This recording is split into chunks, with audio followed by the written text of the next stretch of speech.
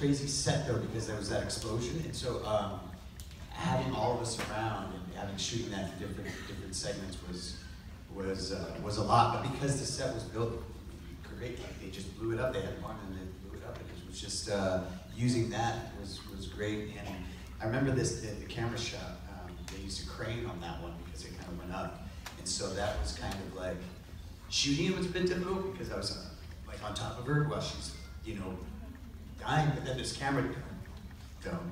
But this, uh, this, the camera's like right on top of me, so I'm trying to like stay there and be in it, but it's it's it's just how do you prepare for that? You really don't. I mean, I guess after so many years in this supernatural world of you know Mystic Falls, I kind of uh, just tap into it.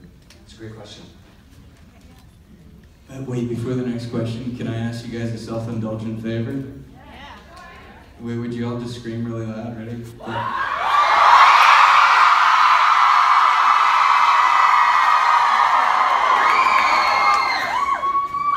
Great, great for the ego. That's pretty good.